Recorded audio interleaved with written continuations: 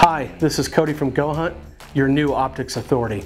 All right, one of the most uh, common questions we get as of late seems to be the difference between a ball head and a pan head. This is a, a, much debated topic. There's pros and cons for both. So I'm gonna try to break that down and give you a little bit of my insight and tell you what I think. Ball heads um, used to be kind of a crude way of putting things together, but they were also the light way to put things together. So when you actually start weighing these out, pretty significant weight savings on the on the ball heads.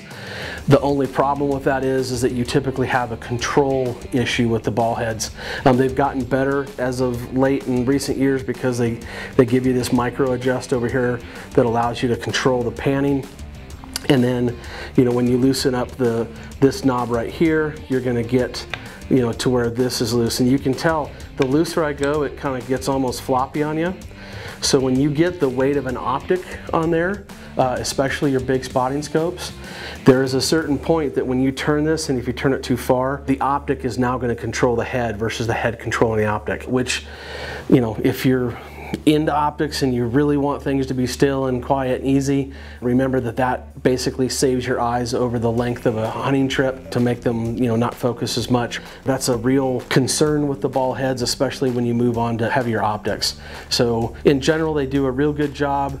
Um, most today you can get them, you know, with the uh, Arca Swiss plates and quick release plates, so they're real easy to take on and off with your optics. But uh, for the, the ball heads, the biggest thing is weight savings and uh, maybe a smaller um, pack presence, you know, when you're when you're going on a long backpacking trip. Moving over to the pan heads. The pan heads are generally speaking what I try to carry in the field. I almost always will uh, take a little bit more weight for the steadiness of the optic and that's really what you're getting when you when you use a pan head. You can use much heavier optics and have much more stability especially you know over glassing a long day you're not trying to fine tune adjust.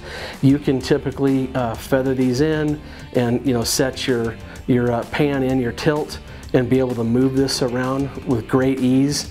And if you have it feathered in right, it'll actually balance out the optic really well. It basically comes down to a weight or stability issue, and really the choice is up to you. If you have any questions on this video, please leave comments or suggestions or information. We, would love to hear from you.